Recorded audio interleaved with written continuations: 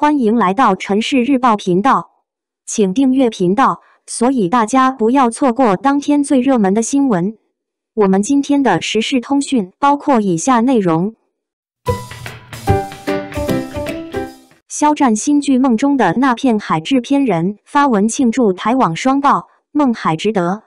肖战新剧《梦中的那片海》总制片人杨小培发文庆祝台网双爆，称。二零二三年第一个成绩，梦海口碑热度收视三丰收，台网双爆两千零二十三，腾讯视频热度 top 一，继续努力共赴彼岸。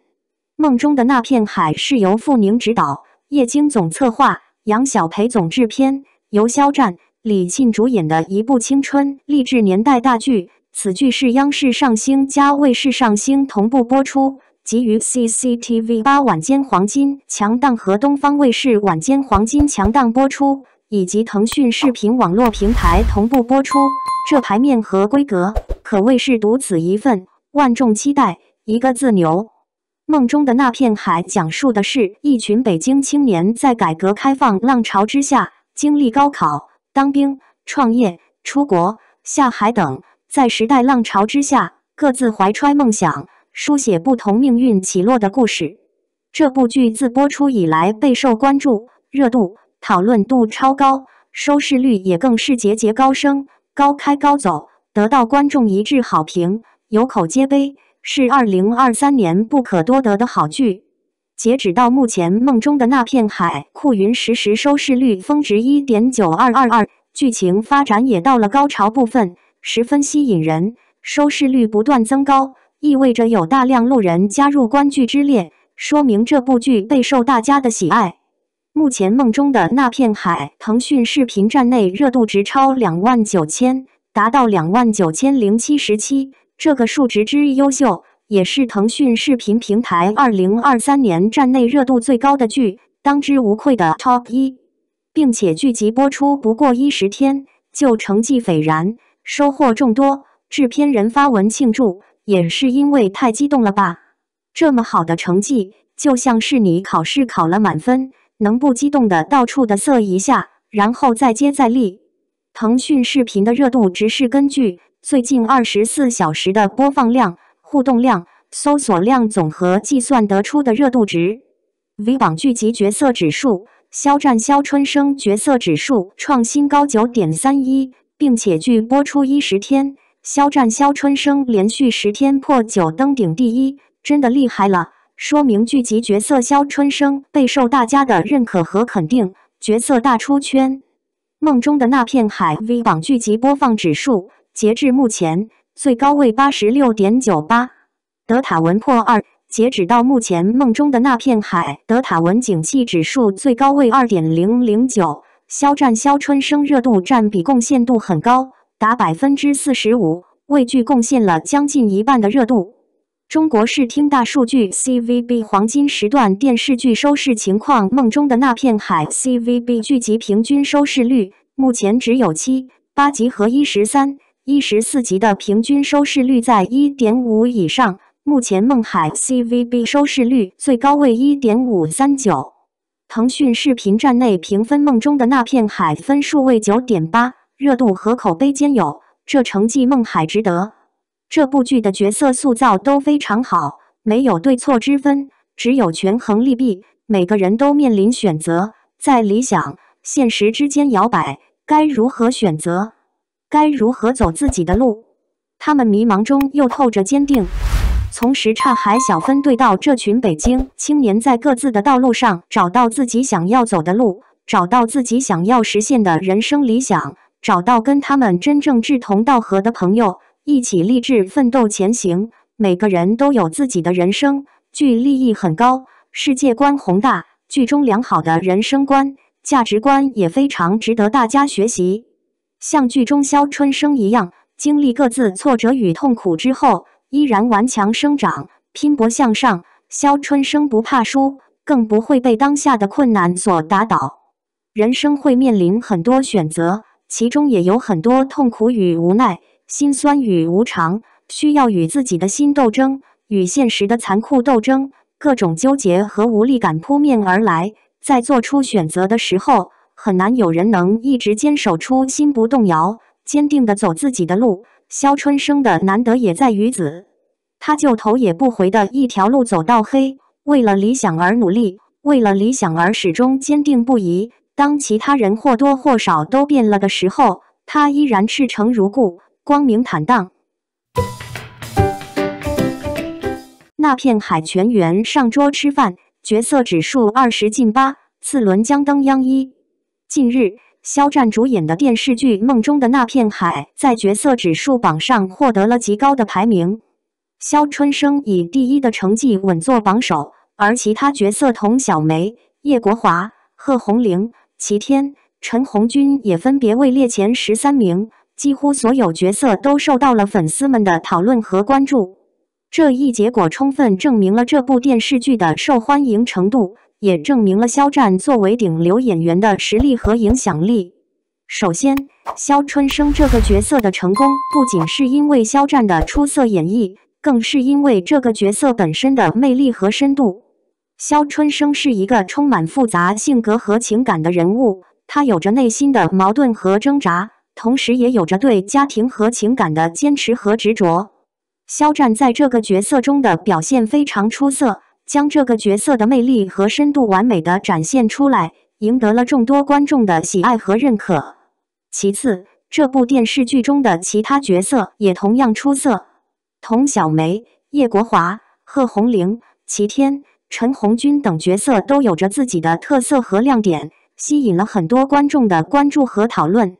这充分证明了这部电视剧的编剧和制作团队的实力和水准。他们在角色塑造和剧情设计上做得非常出色，赢得了观众的赞誉和认可。最后，这一结果也证明了肖战粉丝的素质和影响力。在过去，一些粉丝可能会因为某个角色的剧情而对演员产生不满，或者试图通过打压其他角色来提升自己偶像的地位。但是，这一次，肖战粉丝的表现非常出色。他们没有对其他角色进行打压，也没有因为剧情而对演员产生不满。他们用自己的实际行动证明了自己的素质和影响力，赢得了更多人的尊重和支持。总之，肖战主演的电视剧《梦中的那片海》在微博的角色指数榜上取得了非常好的成绩。这充分证明了这部电视剧的受欢迎程度和肖战作为顶流演员的实力和影响力。同时，这一结果也证明了肖战粉丝的素质和影响力。他们用实际行动证明了自己的实力和影响力，为偶像争取了更多的声誉和尊重。而最为重要的是，当梦中的那片海所有的一切，包括但不限于收视率、讨论度、角色提及度等都极高时。当东方卫视已经开始了一点五轮播出时，当所有人都知道北京卫视已经买到了版权，等着自家电视剧播完就播《梦中的那片海》时，央艺也要播出这部作品了。根据央一的节目单来看，从六月一十七日星期六开始就会播出《梦中的那片海》第一、二两集，此后便是一天两集的速度开播，实现《梦中的那片海》的二轮上星播出。高开风走的品质好剧值得央一的青睐，全员演技在线，不拖拉，观众能够撑得住收视率，再将央八的底盘又拉高了一个台阶。重要的是粉丝也不作妖，大家都在讨论剧情。即便是叶国华做了对不起肖春生的事情，演员刘瑞麟本人也是随着观众一起嬉笑怒骂。当观众不上升演员本人，当所有人的注意点都在剧情本身时，台网口碑双爆实在太正常了，一轮央八，一点五轮东方，次轮央一，还有北京在等着。演员全部拥有姓名，梦中的那片海值得。梦中的那片海最解气一幕，红玲挽留肖春生，春生主动表白小梅。梦中的那片海是由傅宁执导，肖战、李沁、刘瑞麟、赵鑫、曹文然领衔主演。张凌心、刘佳、鲁诺、崔航、吴刚等特别出演的一部年代情感剧。该剧主要讲述了以肖春生、童小梅、贺红玲、叶国华为首的一群北京青年，在改革开放的浪潮下，怀揣各种梦想，最终书写不同命运的故事。在剧中，肖春生、贺红玲、童小梅三人之间的情感纠葛，让很多观众为之动容。故事的开头是肖春生对书库女孩心生好感，却阴差阳错爱上了红玫瑰贺红玲。不过，贺红玲并不是书库女孩的替身。而是明媚动人、才华横溢的耀眼女孩。为此，肖春生很快便不顾一切喜欢上了贺红玲。与此同时，肖春生也一直都知道贺红玲想要什么，他很想给贺红玲一个美好的未来。但是，双腿的残疾让肖春生知道自己跟贺红玲再无可能。出于男人的担当，肖春生主动成全贺红玲和叶国华。还好，他遇到了那个满眼都是自己的白玫瑰女孩。这个女孩便是童小梅。起初，肖春生一直都以为童小梅是出于同情才格外关心自己。没想到，随着长期的相处，肖春生终于知道了童小梅那些不曾说出口的爱意。贺红玲为了欲望抛弃了肖春生，而童小梅为了肖春生放弃了大好前程。如此鲜明的对比，让肖春生感受到了童小梅才是自己的灵魂伴侣。于是，肖春生因为一场英雄救美，主动告白童小梅。而童小梅多年的暗恋，终于得到了回应。就当一切都在变好时，贺红玲却出于嫉妒，开始极力挽留肖春生。为了能和肖春生修成正果，贺红玲相约肖春生在什刹海上滑冰。以此唤醒自己和肖春生的美好回忆。就在贺红玲以为肖春生会重新选择自己时，童小梅却突然出现了，这让贺红玲瞬间觉得自己是个外人。此时的肖春生已经找到了自己最重要的人，便主动拒绝了贺红玲的挽留。肖春生表示自己和童小梅还有很多事情没有完成，他想和童小梅一起追求理想。最终，肖春生在贺红玲的见证下，主动跟童小梅求婚。这一刻，贺红玲心如死灰，终于明白自己跟肖春生再无可能，便被迫嫁给了叶国华。不过，童小梅非常善良大度，不仅没有指责贺红玲自私自利，反而安慰贺红玲往前看。童小梅的大度和善良，更是让贺红玲自愧不如。也让贺红玲明白了，童小梅才是最适合肖春生的女人。最终，贺红玲再也没有出现在肖春生的身边，而是选择跟叶国华结婚，过上了纸醉金迷的生活。但是，贺红玲拥有美好的物质生活，便越来越怀念年轻时的自己。对贺红玲而言，她对叶国华有感激，也有憎恨。她感激叶国华的出手相助。但他更憎恨叶国华踩雷。